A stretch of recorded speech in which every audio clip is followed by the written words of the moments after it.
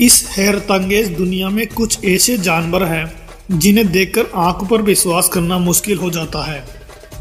Amazon के वर्षा वनों में ऐसे जानवर पाए जाते हैं, जो इंसानी सोच से ऊपर है। ऐसी ही बंदर की प्रजाति यहाँ पाई जाती है, जिसका नाम है बाल्ड उकारी जी हाँ जैसा इसका नाम है, वैसा ये दिखता भी है, बिल्कुल अलग।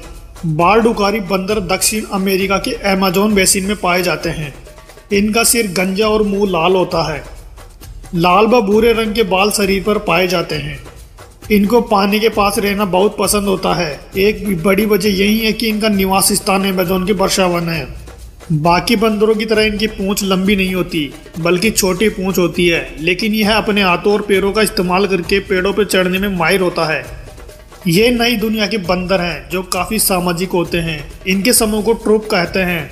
इनके समूह में सौ से ज़्यादा बंदर पाए जा सकते हैं। लेकिन दिन में खाने की तलाश में छोटे छोटे समूह में ये बढ़ जाते हैं और रात में वर्षा वनों की ऊँची शाखाओं पर सोते हैं।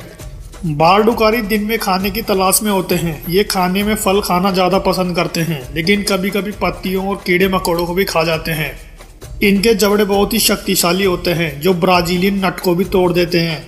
ये पेड़ों पर खाना इकट्ठा कर लेते हैं और मज़े से खाते हैं, लेकिन जब मौसम शुष्क हो जाता है तो खाने की तलाश में नीचे जाते हैं। मादा प्रत्येक दो साल में एक बच्चे को जन्म देती है। यही वजह है कि इनकी संख्या में तेज़ी से वृद्धि नहीं होती। इनकी आयु 16 से 22 साल के बीच होती है और वज़न 3 से 4 किलो के बीच होता है, तथा अड़तीस से सत्तावन सेंटीमीटर तक इनकी लंबाई होती है। लेकिन दुर्भाग्यवश और जानवरों की तरह इसका भी शिकार भोजन के लिए किया जाता है, और अमेजोन वर्षा वनों की कटाई के कारण भी इनके रहने की जगह में कमी आ रही है।